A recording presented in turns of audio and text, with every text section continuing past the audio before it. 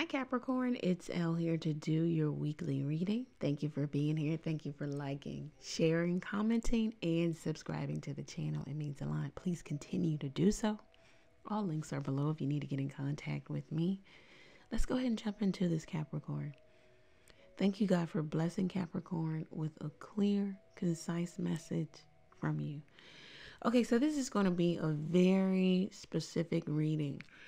Um, so it looks like somebody has, um, like they have boundaries in terms of their marital partner or their girlfriend or boyfriend, or um, they've kind of put up like some, I don't know, boundaries, energetic, like pushing away because they're having thoughts of maybe, you know, um, sex opportunity to have sexual encounter with the same sex it is just a thought for, for right now.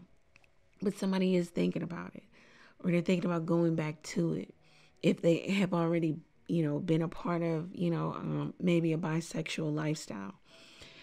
Um, it's like they think about it and then they leave it alone because they feel like, um, you know, it's a bad decision. You know, uh, they they don't feel like this is what they should be doing, but they definitely think about it heavy.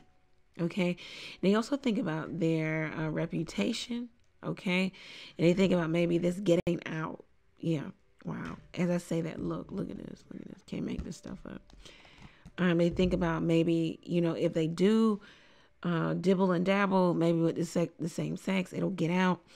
Um, and then we got the official person and the mature man coming out. So it's like um, they already have a person in mind. Then we also have cheating. Okay. And then we also have the reconciliation card. So it's like, look, somebody already has already gone there, you know, in terms of maybe sex with the same sex.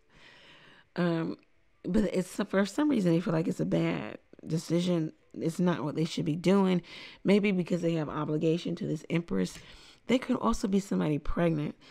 But um, I don't know if it's you, Capricorn, or somebody else saying, "I'm look, I'm not attracted to my partner," and it could have everything to do with the fact that, um, you know, they're just not attracted to the opposite sex, not for maybe sexual reasons, because there are some men and some women in the world who feel like um, they like to have sexual encounters, sexual relationship with the same sex, but they like to have relationship like um, vulnerable, intimate relationship with the opposite sex.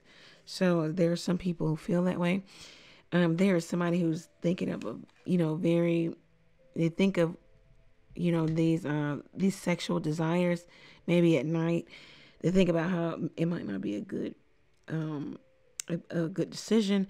Uh, with the moon card here, and they think about the the two natures, you know, of themselves, you know, the, the two sides somebody is also just not wanting to have a one-on-one connection. If you are already in a relationship whether it's same sex or opposite sex somebody is saying look I'm, i just don't do well with one-on-one connections. And that's possibly because they are hiding so many different people behind them. This person could be coming to the relationship genuine wanting to exchange their heart but this person's got a lot of different people um, and as I say that, we have the card surfacing the town whore. There's somebody who just gets around, you know, and that's their that's their energy. They're always out to change or to make some change here. Um, they're always out to um, to move about. You know, they don't they don't just um, they don't stick around too long. Um, we also have an energy of somebody who is very materialistic. Uh, and um, this is what keeps them tied to a particular person too because um, they're a good look for them. They also have money um, and uh, it, it the money brings them access to all of the material things that they want. So somebody is um, you know really receptive to somebody's alternative lifestyle alternative thoughts um, because you know they can now buy have live go wherever they want to go on this person's dime. So it's almost like somebody knows that they're signing up to be a beard.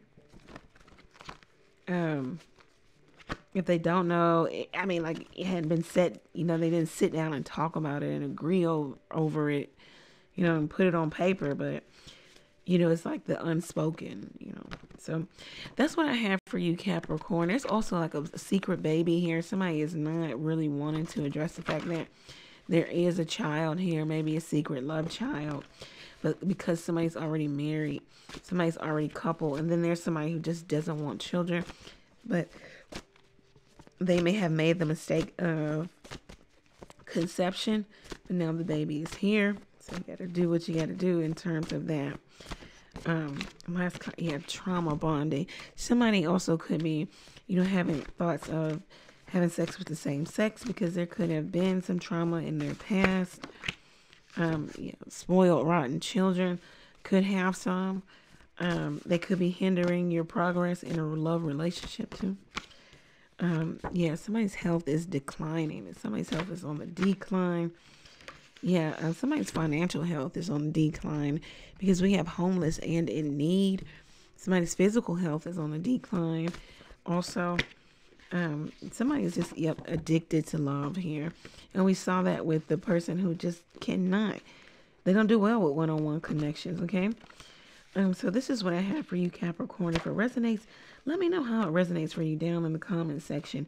Also, get your own personal reading by going over to the website ask a question or two by texting your question to the number below. You can also donate to the channel. If you took anything from the reading, you can give back. You could click the Buy Elle a Coffee link. Thank you guys. Many blessings to you. Take care.